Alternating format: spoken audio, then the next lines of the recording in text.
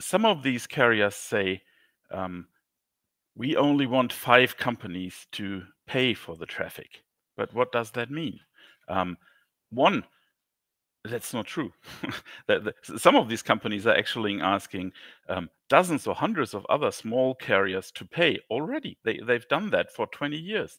They started it basically in the 2000s.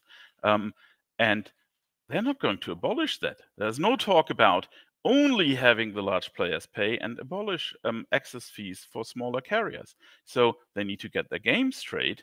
Do they actually want to have only a handful of players pay for for uh, for peering for access to their network? Or do they want to have this as a general idea?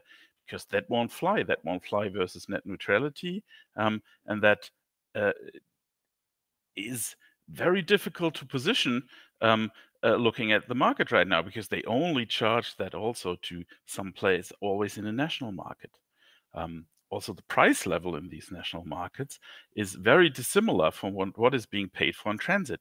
As an internet exchange point, we have a very clear view of the fact what um, how much is transit worth?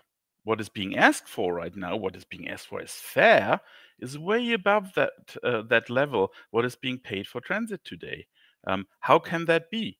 Uh, and a national access, a national peering should be way below if you look really look at the cost should be way below and the and the, the commission's consultation doesn't reflect that bit they're asking for um, network cost but they're not asking for actual transit cost